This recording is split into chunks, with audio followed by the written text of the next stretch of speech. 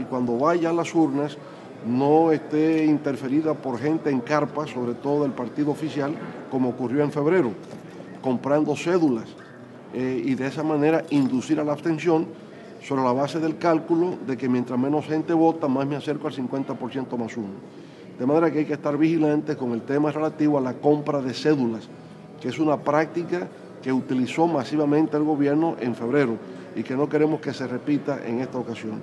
De manera que esos fueron los puntos básicos.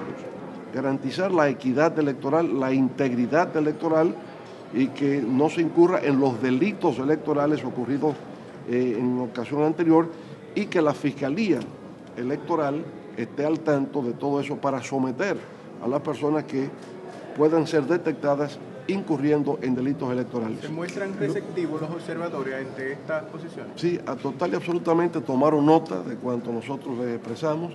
Le hemos dicho que incluso lo habíamos solicitado